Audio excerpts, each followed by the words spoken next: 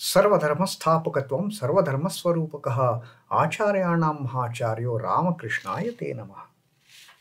O establisher of all the faiths, embodiment of all the religions, the greatest teacher among all the teachers, o Shri Ramakrishna my salutation to our great teacher Acharyanam Mahacharya Sri Ramakrishna, has come to Beni Madhav Pal's house in, at Sinti, Sinti to at, uh, the festivities of the semi-annual festival of the Brahmos and extremely delighted to see Shivnath Shastri. Two great devotees meeting together. There is the, the, the, the, there is no limit for that uh, delight as such. And Sri Ramakrishna is so happy to see Shivnath because he said, two devotees meeting each other is like two hemp smokers meeting each other. Now is the time. We will rejoice our smoke. They will even have a great uh, deep embrace and then they will start uh, enjoying the smoking of the hemp. Then they will start talking about the Lord. Then they will start talking about the divine. And then uh, Sri Ramakrishna said that uh, uh, it is not that all the people who are accompanying these devotees, they also have the same attitude. These devotees, they may be so much uh, steeped into the worldliness that they may not rejoice the talk of these two uh, devotees of the Lord, these two brothers, these two siblings. The other people may not rejoice. Then they will start uh, finding excuses. Okay, now we will go and sit outside. You come, you enjoy your talk. We don't have uh, any interest in it.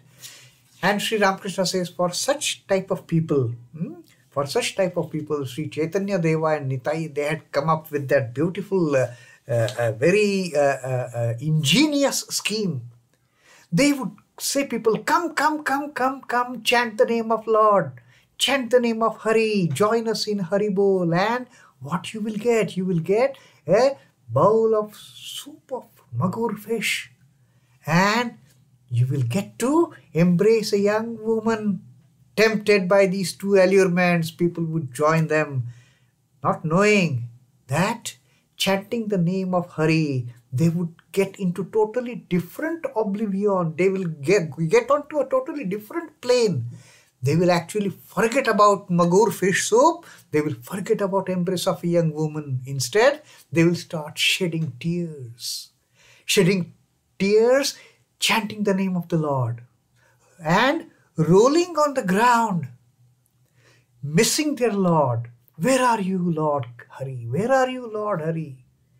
And though that uh, shedding of the tears, it became the soup of magur fish, rolling on the ground, clutching the earth. That earth was the beautiful woman. And rubbing, uh, uh, rolling on the ground in the divine fervor, thinking about the Lord Hari was embrace of the young woman. So this is how uh, uh, Chaitanya Deva and Nitai they uh, played with the uh, requirements of these people, what they needed, what they thought of, what they wanted to enjoy, and they turned those worldly enjoyments into a divine fervor after the chanting of her name of Hari, Hari Bol, Hari Bol, Hari Bol. Now, Sri Ramakrishna says that these worldly people, these worldly people, they they, they, they, they are also endowed with the three gunas that the Lord has given. Now, it is not that all the worldly people they behave like these people uh, whom uh, Chaitanya Deva and Nitai they had allured. There are some worldly people, I mean, people living in the world but not of the world, like uh, Shivnath Shastri. So, Sri Ramakrishna said, even the worldly people, these worldly people are possessing the three gunas that the Prakriti has given to them. They are all filled with sattva, rajas, tamas. And depending on the predominance of that quality, depending upon the predominance of that guna, they will uh, behave in certain manner. The worldly people with Sattva as a dominant would be a great devotee, of course. He will be a person with certain characteristics, with certain traits. Now, Sri Ramakrishna is telling about the three traits of the worldly people, how they behave towards uh, the, the devotional uh, uh, journey, how they behave towards the spiritual path. Sri Ramakrishna says, the worldly people, hmm, they are endowed with uh, uh, the, the sattva. The worldly people who are endowed with sattva, how they behave. Sri Ramakrishna says perhaps his house is in a dilapidated condition. He is not maintaining the house in a proper order. Maybe this wall is cracking, the door is falling. He is not worried about it. It is in a dilapidated state, maybe the home. He doesn't care to repair it. The worship hall may be strewn with pigeon droppings. There may be birds uh, in the in the in the in the uh, shrine. Pigeons. They have made their hole. They are raising their families. Uh, in one corner of the shrine, there will be pigeon droppings. But this person is not worried. The worship hall may be strewn with pigeon droppings and the courtyard covered with moss. No cleaning undertaken for that matter. But he pays no attention to these things. The furniture of the house may be old. He doesn't think of polishing it and making it look neat. He doesn't, he, his nature is like that. Chalta hai attitude kind of. He doesn't care for his dress also. What he's wearing, is he having good kind of a, a neatly uh, uh, cleaned and ironed clothes? He's not worried about it. Anything is good enough for him. Anything that God has provided is good enough for him. That is the person endowed with sattva. But what are his traits? He himself is very gentle, very humble, very quiet, kind, and he doesn't injure anyone. He is living in his own divine realm me and my mother. That is the way person endowed with sattva. There is no external purity at all he is concerned with. There is no external show off that he is concerned with. He is only concerned with his divine love for God. That he will not compromise for any kind of, uh, uh, at any cost. Me and my Lord, me and my mother, those only will be his main concerns. He is not worried about what is the condition of my house, what is the condition of my clothes, hmm? what is the condition of my courtyard, is there dirt and lying over there, what is the condition of my shrine. Nothing doing. Me and my Lord, the servant and the master, the child and the mother, that is what matters to him the most. So that is the worldly person endowed with sattva.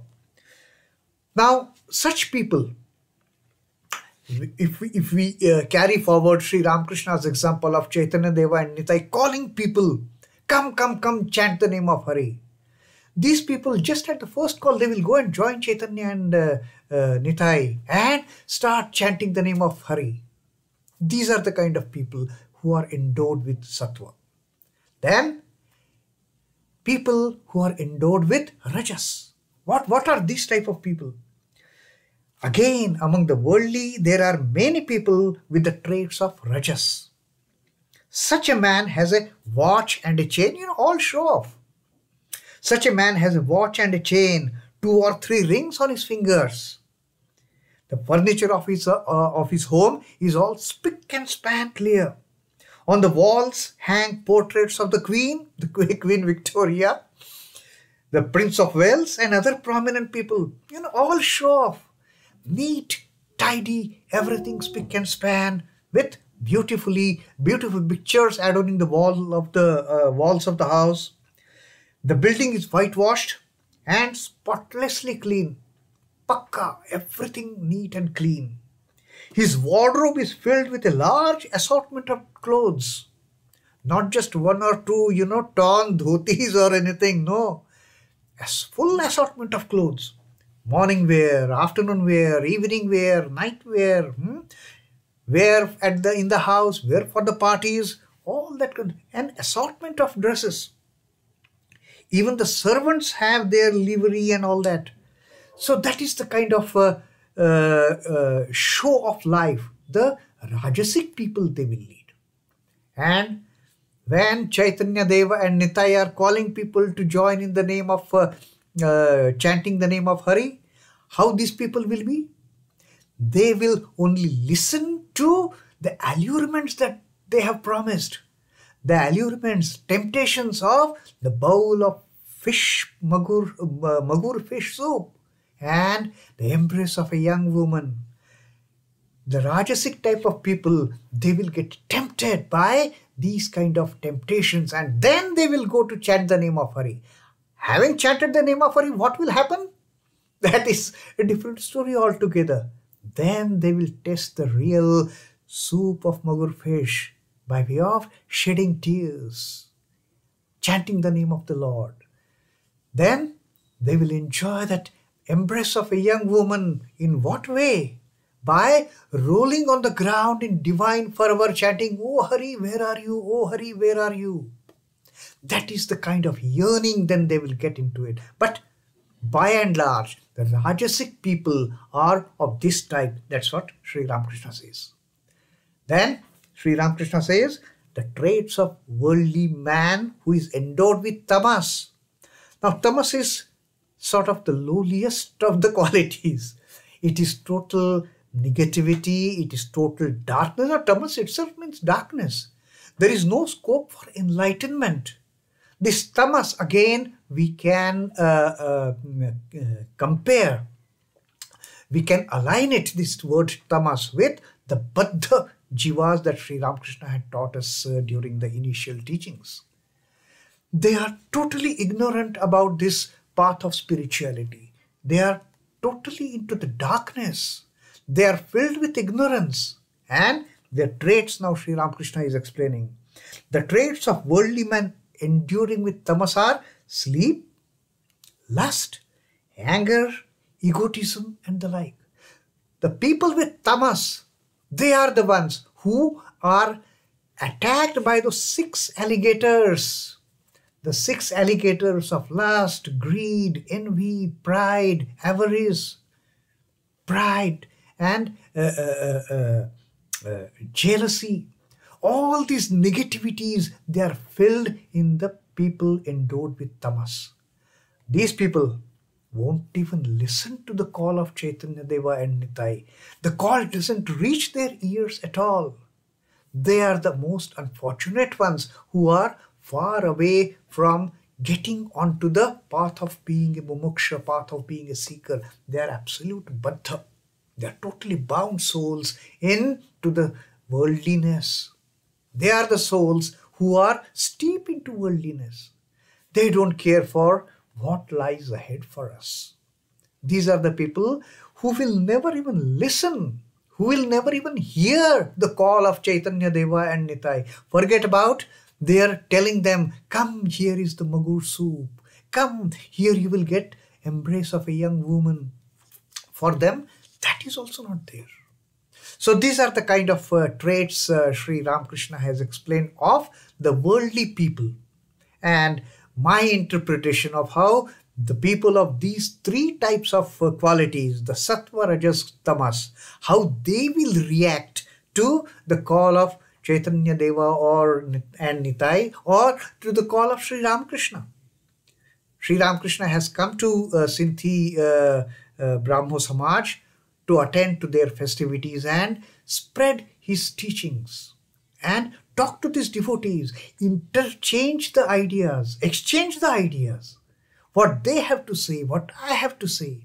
That is kind of a, a, communion that Sri Ramakrishna is going to have with these Brahmo devotees. And he has explained here to in today's teaching the three types of traits that the worldly people they are endowed with the sattva, the rajas, and tamas, and how kind of they will react to the call of divinity. The sattva people they don't need call, they are on their own, they are onto this path of divinity. The Rajasic, they will first of all listen what is in there for me. Am I going to get anything out of it? Then they will get onto that path of divinity, and having got onto that path of divinity, then they will really experience the wonderful fruits of that divine path. The tamasic people, they will remain away from the path of divinity in totality. They have got nothing to do with it. So that was Sri Ramakrishna's teaching for the day. Om Namah Shri Bhagavate Ramakrishnaya.